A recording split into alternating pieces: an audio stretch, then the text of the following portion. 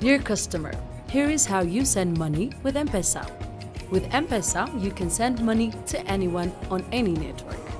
Dial star 733 hash and select Send Money. Enter the mobile number of the receiver, then enter the amount you want to send. To ensure you send the right amount to the right person, M-Pesa will show you the name or number of the receiver, the amount and the transaction fee. If you're happy with the information, select Send. Enter your M-Pesa PIN to complete the transaction.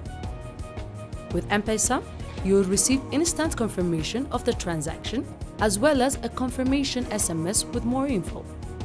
Remember to add the number to your favorites so that it's easier to transact next time. M-Pesa Safaricom. Further ahead, together.